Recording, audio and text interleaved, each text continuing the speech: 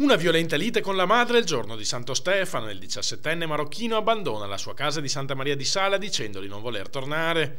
In tasca un coltello da cucina e una manciata di spiccioli da spendere immediatamente per un certo numero di birre. Poi il tentativo di procurarsene altri, minacciando con l'arma qualsiasi coetaneo si trovi sulla sua strada. Alle 21 si fa consegnare 15 euro una bicicletta da un diciottenne residente nella zona che rimane leggermente ferito a una mano. Neppure un'ora dopo ritenta il colpo ai danni di un altro ragazzo.